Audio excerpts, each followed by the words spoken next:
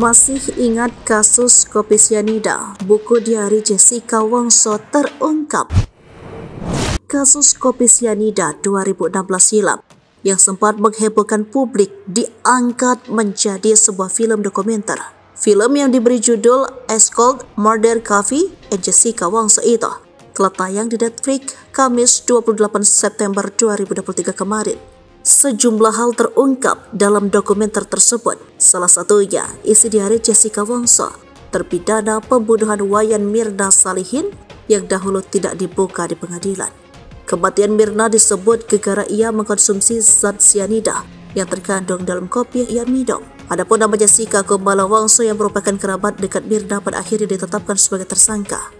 Dalam film dokumenter Eskol tersebut ditampilkan salah satu sens yang mengulas tentang buku diari Jessica. Saatnya membahas hari saat kami seharusnya bertamu untuk mengopi.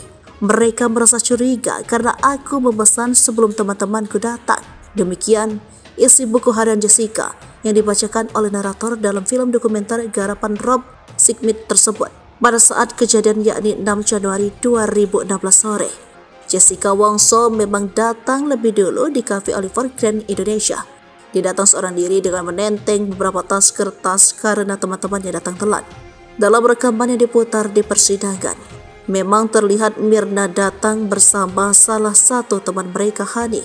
Aku tak menyangka mereka akan tiba 40 menit kemudian. Lanjut buku harian itu.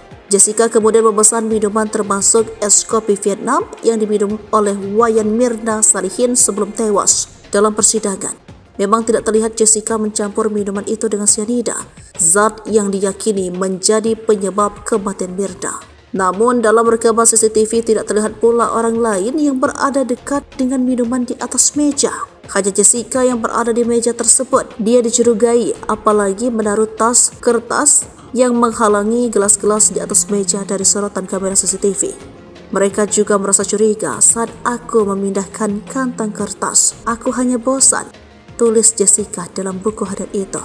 Dalam catatan itu pula Jessica Wongso menuliskan bahwa rekaman CCTV dirinya keluar masuk kafe diputar berulang-ulang.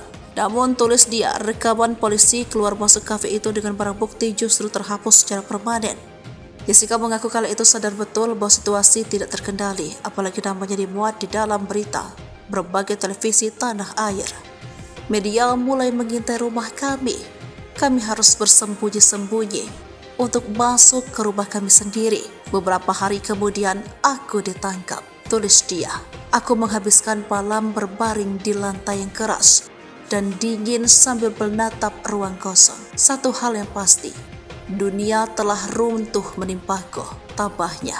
Kasus kematian Mirna benar-benar membuatnya terpukul. Dia bahkan bertanya-tanya apakah jika bertemu orang baru dirinya akan tetap dianggap sebagai pembunuh. Di dalam film tersebut juga wawancara dengan Jessica secara online dari luar penjara.